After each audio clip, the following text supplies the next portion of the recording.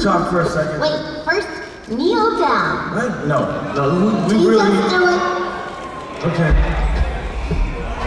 Now, close your eyes. Then I'll be. Shut, them.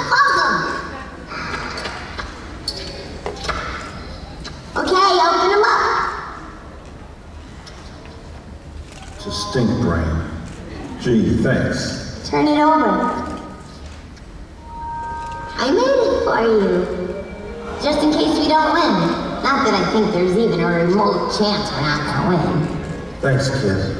Uh, listen. All right, my royal chimp. I've got a date with destiny. Ralph, come on, move your molasses. Um, I've been thinking. That's dangerous. Who cares about this stupid race anyway? Right?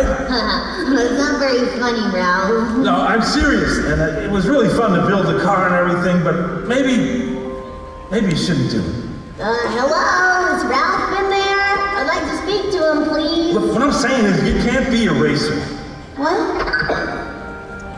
Why would you? Wait a minute. No! Where did you get this?